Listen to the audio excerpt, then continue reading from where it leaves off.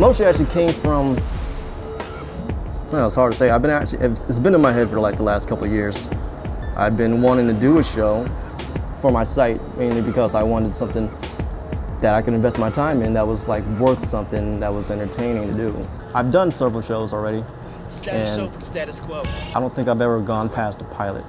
Um, a lot of them are horrible. You play without really knowing how to play it. First episode, Angry Monkey. I'm a club promoter, so you know I could get you hooked up with all the coolest clubs around town, man. I mean, I guess in time you kind of learn from all those. So I mean, definitely from the first show to the last show I did, which is the Bastard Chronicles.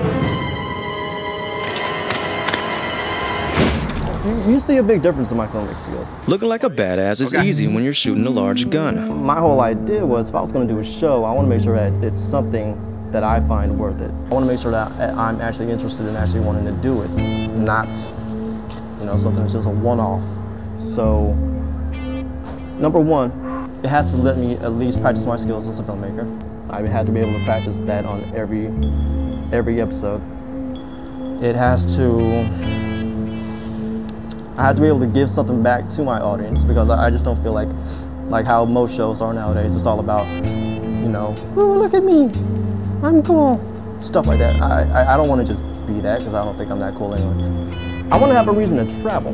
So if I do a show and I'm interviewing somebody, you know, I if I was like in Costa Rica or something, that'd be amazing. Stop off ziplining and then do the show. I need to be able to work and network with other people. So like if I find other artists that I find extremely interesting, quirky, or just plain weird, I'm, I'm gonna interview them. My moniker is the enabler. And really what that basically it encompasses is the fact that I jump in and get stuff done. Leon does the creative aspect, a ton of the creative aspect, and comes with the ideas. So we often have discussions sitting at a table like this or in the car or wherever and we start coming up with ideas. And so once that happens and he gets a lot of the framework done, then my part is I come in and I basically start helping, helping out with rolling action, framing the shots or blocking the shots or setting the lights or setting the sound and and basically going through and doing some of the menial stuff that needs to get done. I mean, he we both do it, but really that's what it is. So it's it's basically me enabling the process along to to get Wait, the shots that we need. I mean, creatively, I help too as far as coming up with the shots or coming up with ideas for different things. Um, but that's really my monikers to enable all that stuff to come through onto onto the camera.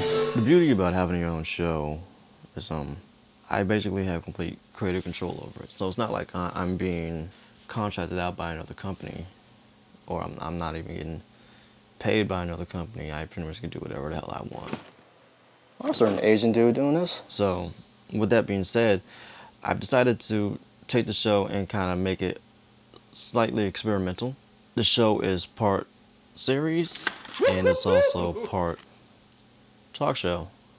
So when we're talking about the series, we're talking about a developing story arc. We're talking about um, character development, what I'm doing is I'm kind of merging those two worlds together. So you got the talk show actually lives in the world of the series. And what that allows me to do is allows me to break the fourth wall on my show and on my series and have them kind of commingle with each other. Since I'm not doing it for anybody else, you know, it's entirely my responsibility. If it, if it works, and if it sucks, and that's I'm pretty much the only one to blame for that one. Wow, that was horrible. And Do it again. No, no money lost on my part. It's a lot of time lost, but it's mine.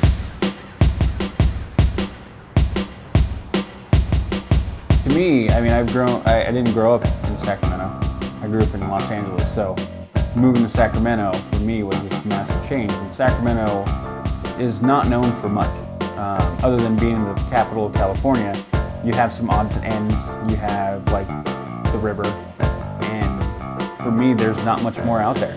I mean, unfortunately, it's sad to say, um, other than not being able to. Uh, this is timely, but not other than not. The biggest thing is probably most people know this place for is not being able to get an arena, which I'm not going to go there, but still.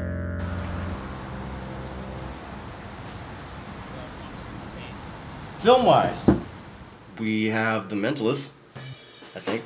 Oh. Didn't Vin Diesel jump off a bridge? Yes. Uh, Triple X, for the viewers who don't know, there is the bridge scene where he, the car goes off. That's actually not that far from here. That's about a 30 minute car ride up in Auburn. Foresthill Bridge. Um, still got the Kings? This is my production binder. Basically, I've kept all my ideas in here for the last year and a half.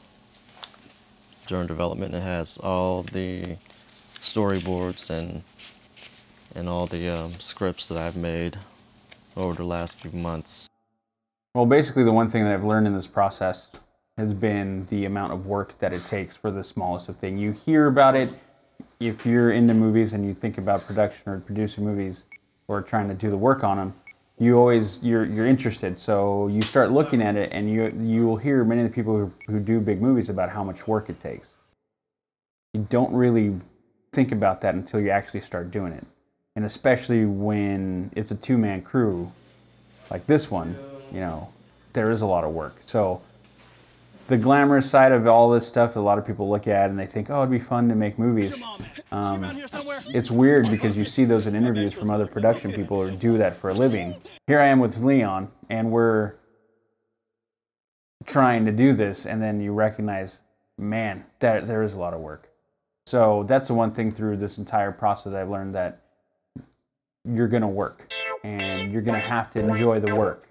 If not, you're going to hate it and you're not going to wanna do it. And luckily enough, through this process, I've learned that I like doing this. This is fun.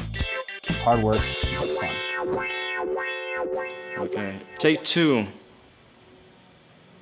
And as soon as Woody stops watching TV. attention, man. I'm ready to go. And three. Two, one, action. So the hardest part that I think in my particular production is having no crew, being just me and him, and having to do everything mm-hmm. ourselves. You try to reach out to get some help, and mostly the only people who come to your aid is going to be friends. Shot. I don't know what shot this is. Okay, what? five. Made up shot. I don't have. A, You don't have this one written down. I don't have this one written down. I'm doing all three in a We're row. gonna go four E. Uh, we're gonna go. about four I for improvise? The phrase that I use often while shooting is guerrilla filmmaking. So, um, because we have to um, run in and run out and get shots as we can. Um, you know, we're always on the. We always are have that feeling like at any moment in time we're going to be told to leave or have the cops come up on us and say, "Hey, what are you guys doing? You have a permit, blah blah blah." So that's one of the other things. It's like we have to get in there, and I mean, it's it's it, this is the only time that having the, the benefit of having a, you know two of us doing it is because we can we've already now we've been doing it for as long as we have we have a good working rapport so we can go and we know you know and any any point in time have uh, someone say you need to guys guys you need to get out of here.